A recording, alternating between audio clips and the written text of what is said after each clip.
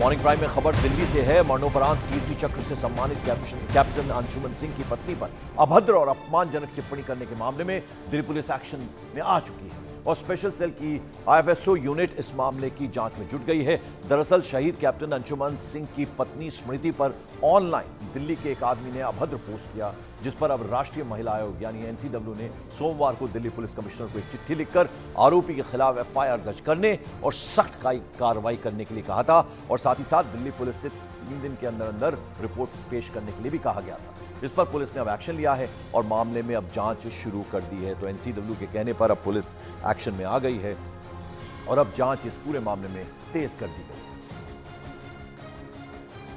तो आपको बता दें, शहीद अंशुमन की पत्नी पर जिस तरह से अभद्र टिप्पणी की गई ऑनलाइन, उसको लेकर अब एनसीडब्ल्यू यानी नेशनल कमीशन ऑफ़ वुमेन ने शिकायत की है बाकायदा पुलिस को और पुलिस अब इस बीच एक्शन में आ गई है और पूरे मामले की अब जाँच करनी की तैयारी कर ली गई है दिल्ली पुलिस की तरफ़ से। साथ ही साथ दिल्ली पुलिस से तीन दिन के अंदर रिपोर्ट पेश करने के लिए भी कहा गया था। इस पर अब पुलिस ने एक्शन ले लिया है। मामले की अब पूरी जाँच शुरू कर दी गई है। यहाँ आपको बता दें, पिछले शुक्रवार को ही कैप्टन अंशुमन सिंह को मरणोपरांत कीर्ति चक्र से सम्मानित किया गया। उनकी पत्नी स्मृति और माँ मंजू सिंह ने राष्ट्रपति द्रौपदी मुर्मू से राष्ट्रपति भवन में आयोजित एक समारोह में कीर्ति चक्र प्राप्त किया और उस वक्त कैप्टन अंशुमन सिंह की बहादुर की जो दास्तान सुनाई गई, वो रोंगटे खड़े कर देने वाली है। सीना गर्व से फूल जाता है और जब एक शहीद की पत्नी के ऊपर इस तरह की अभद्र टिप्पणी की जाती है तो जहन गुस्से से भर जाता है। आखिर ये कौन लोग हैं जो इस तरह की अभद्र भाषा का इस्तेमाल करते हैं? एक बार जरा सुनिए सियाचिन की उस घटना के बारे में, जिसमें अदम्य बहादुरी का परिचय देते हुए कैप्टन अंशुमन सिंह अपने कर्तव्यों का पालन करते हुए देश के लिए शहीद हो गए।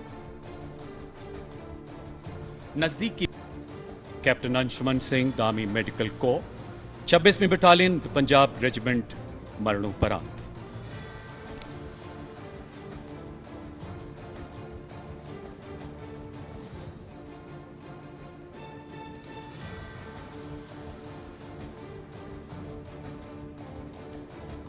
कैप्टन अंशुमन सिंह ऑपरेशन मेघदूत के अंतर्गत सियाचिन ग्लेशियर में चिकित्सा अधिकारी के रूप में तैनात थे। आपने 19 जुलाई 2023 को वहाँ स्थित चंदन ड्रॉपिंग जोन में हुई भीषण अग्नि दुर्घटना के दौरान नज़दीक की फाइबर ग्लास हट में फंसे लोगों को सुरक्षित बाहर निकालने में मदद की। इसी दौरान मेडिकल इन्वेस्टिगेशन शेल्टर को आग की चपेट में आता देख वो अपने प्राणों की परवाह न करते हुए उसमें कूद पड़े। ताकि जीवन रक्षक दवाइयों और उपकरणों को बचाया जा सके। तकरीबन सत्रह हज़ार फीट की ऊंचाई पर चल रही तेज हवाओं के कारण आग की निरंतर बढ़ती लपटों ने पूरे शेल्टर को अपनी गिरफ्त में ले लिया और भरसक प्रयासों के बावजूद उन्हें बचाया नहीं जा सका। कैप्टन अंशुमन सिंह ने असाधारण बहादुरी एवं त्याग का परिचय देते हुए देश हित में अपना सर्वोच्च बलिदान दिया। सम्मान ग्रहण करेंगी उनकी धर्मपत्नी श्रीमती स्मृति एवं माता Shrimati Manju Singh.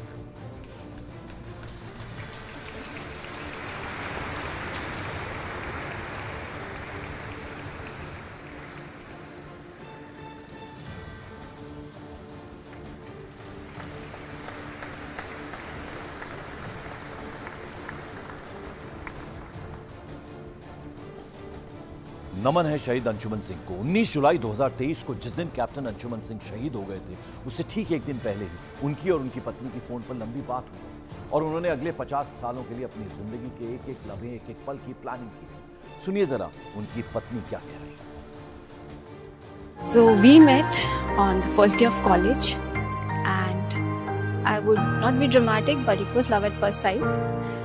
And uh, after a month, he got selected into AFMC. We met in an engineering college. He got selected in a medical college. So super intelligent guy. So from then on, after just one month of meeting, it was a long distance relationship for eight long years. Then we were like, oh my god, it's too long. Let's get married now. So we did. And unfortunately, within two months of marriage, he got posted into Siachen. On 18th July, we had a long conversation about how our life is gonna be the next 50 years. He's gonna build a house, we're gonna have kids, and whatnot. 19th morning, I get up, I get a call. He's no more. What? I just called, I just talked to him, but seven, eight hours, it got confirmed that he's no more. And I'm not coping up. I'm just trying to figure out maybe it's not true. But now that I have Kirti Chakra in my hand, maybe it's true. But it's okay. He's a hero.